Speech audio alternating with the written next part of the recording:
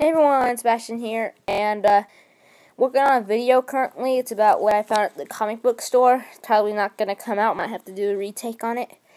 It's uh, 30 seconds long, so it's a pretty long video, plus an extra video, but um, don't think it's um, going to come out, actually.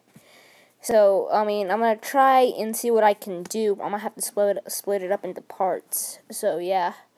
So, I'm going to bring this little update video on what I've been up to. Summer vacation, where I'm at uh, Bob who is on vacation, summer vacation as well. So yeah, I'll show you what I'm eating for lunch. As you can see, I'm hiding some of this ready, that ready pasta thing that you make in the microwave. That's what I'm making. It's uh, butter noodles with some seasoned salt, seasoned salt and butter.